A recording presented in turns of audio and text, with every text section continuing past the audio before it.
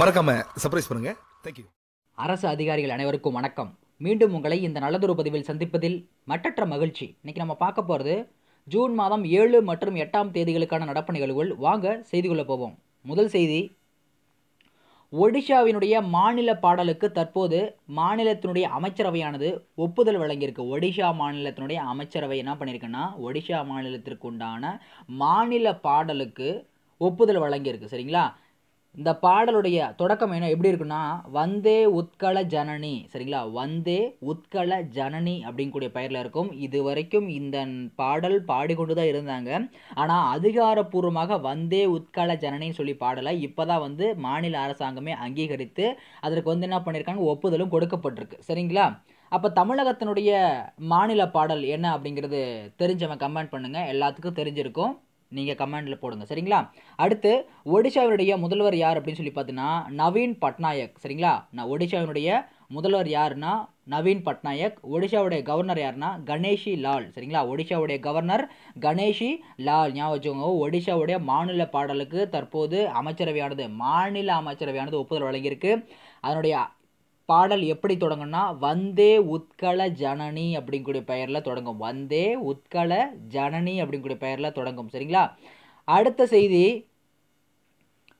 இந்தியாவின் முதல் இணையதள கழிவு மேலாண்மை. சரிங்களா? இணையதளத்திலே என்ன பண்ணுறாங்கன்னா வந்து கழிவு மேலாண்மை வந்து இது பண்ணணும். வேஸ்ட் மேனேஜ்மெண்ட் இன்டர்நெட் வேஸ்ட் மேனேஜ்மெண்ட்டை தொடங்கியிருக்கக்கூடிய இந்தியாவின் முதல் மாநிலம். எந்த மாநிலம் அப்படின்னு சொல்லி கேட்டிங்கன்னா ஆந்திர மாநிலம்.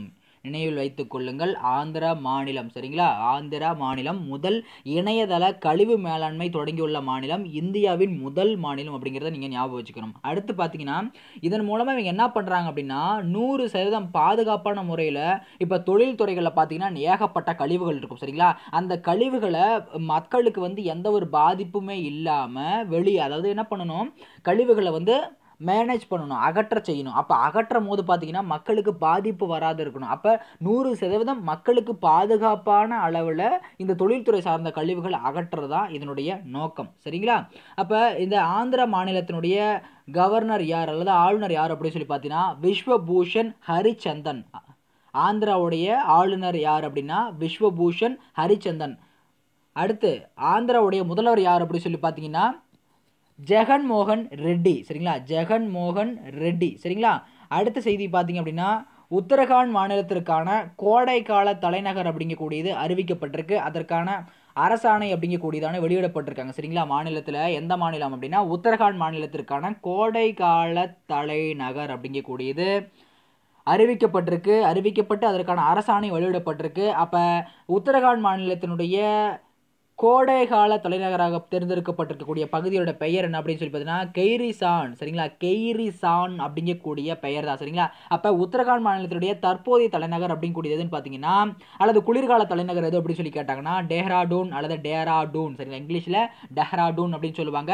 தமிழில் டேராடூன் அப்படின்னு சொல்லி உச்சரிப்பாங்க. சரிங்களா? உத்தரகாண்ட் மாநிலத்திற்கான கோடைகால தலைநகராக கெய்ரிசானும் உத்தரகாண்ட் மாநிலத்தினுடைய குளிர்கால தலைநகராக டேராடூனும் அப்படிங்கிறது அறிவிக்கப்பட்டிருக்கு. சரிங்களா? அடுத்த செய்தி பார்த்தீங்க அப்படின்னா ஜல் ஜீவன் திட்டத்தின் கீழே சரிங்களா? ஜல் ஜீவன் அப்படிங்கக்கூடிய திட்டம் அப்படிங்கிறது நமக்கு தெரியும். அடிக்கடி பேசப்பட்டுக்கிட்டு இருக்கக்கூடிய ஒன்று இந்த ஒரு வாரத்துக்குள்ளே.